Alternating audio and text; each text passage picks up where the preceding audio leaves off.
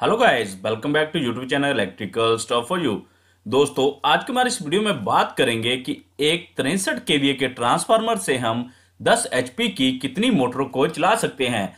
दोस्तों, मेरी वीडियोस पे कमेंट भी आए थे कि सर हम तिरसठ केवीए के ट्रांसफार्मर पर 10 एचपी की 10 मोटरें चला रहे हैं तो क्या वो सही है या गलत? क्या हम इतनी मोटर चला सकते हैं या फिर नहीं? तो दोस्तों, आज की इस वीडियो में हम इसी के बारे में फाइंड आउट करेंगे कि एक तिरसठ केवीए के ट्रांसफार्मर से हम कितनी 10 एचपी की मोटर चला सकते हैं। तो चलिए वीडियो को शुरू करते हैं। तो दोस्तों, सबसे पहले हम तिरसठ केवीए ट्रांसफार्मर का फुल लोड करंट कैपेसिटी निकालेंगे कि वो कितना फुल लोड करंट कैरी कर सकता है। तो दोस्तों, उसे निकालने के लिए हमें सबसे पहले ट्रांसफार्मर कितने केवीए का है वो पता होना चाहिए, जो कि तिरसठ केवीए का है। अब हम फॉर्मूले का यूज़ करेंगे root three into voltage into current equal to KVA अब यहाँ पर जो V है, जो वोल्टेज है, और जो I है, जो करंट है, और जो केवीए है जो ट्रांसफार्मर की कैपेसिटी होती है।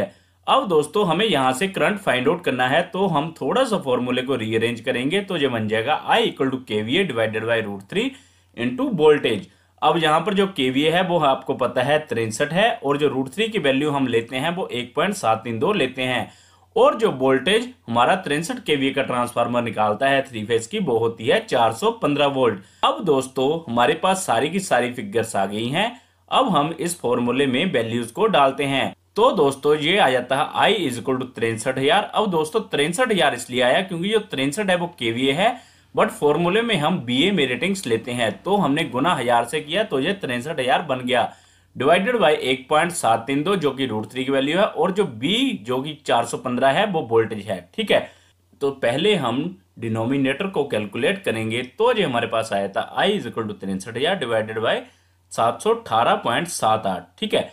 तो जब हम इस फिगर को कैलकुलेट करेंगे, हमारे पास मैक्सिमम करंट आ जाता है 87.64 एम्पेयर। इसका मतलब ये हुआ कि जो हमारा तिरसठ केवीए का ट्रांसफार्मर है, वो मैक्सिमम जो करंट कैरी करता है, वो है 87.64 एम्पेयर। ठीक है दोस्तों, अब हम ऐसे ही निकालेंगे कि जो हमारी 10 एचपी की मोटर है, वो कितना करंट लेती है फुल लोड। ठीक है तो अब हमें मोटर की एचपी पता होनी चाहिए जो कि 10 एचपी है।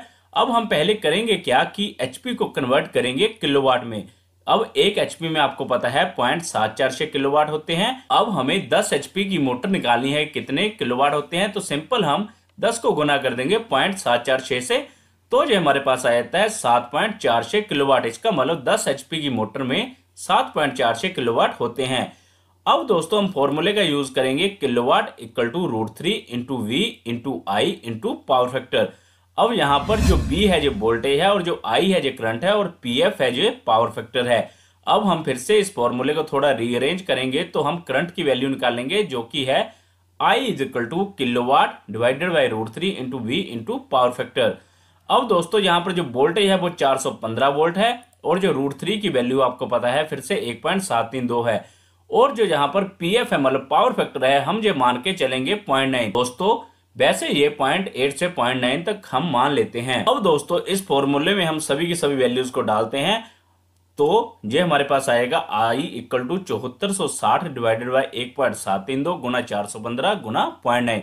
अब दोस्तों, यहाँ पर चौहत्तर इसलिए आया है क्योंकि हमने किलोवाट को बाट में कन्वर्ट किया है, ठीक है?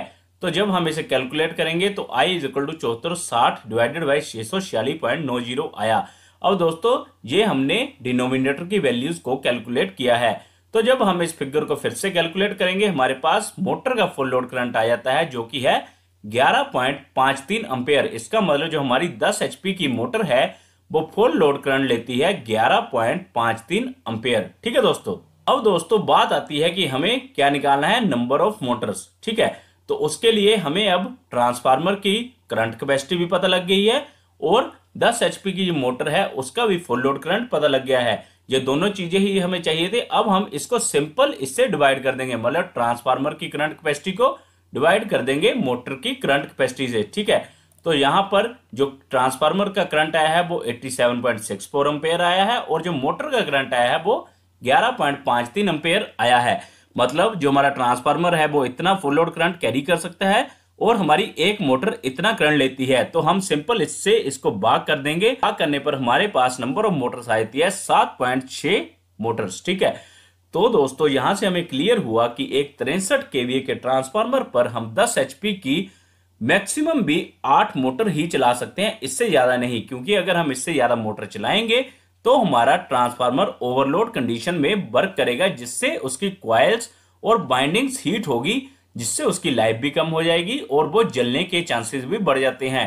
तो यहाँ से यह भी क्लियर हुआ कि हम तिरसठ केवीए के ट्रांसफार्मर पर 10 एचपी की 10 मोटर नहीं चला सकते।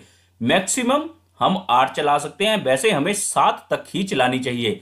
तो दोस्तों, अगर आपको ये वीडियो इन्फॉर्मेटिव लगा हो तो लाइक और शेयर ज़रूर करें और ऐसी और वीडियोस के लिए चैनल को सब्सक्राइब ज़रूर कर लें। Thank you guys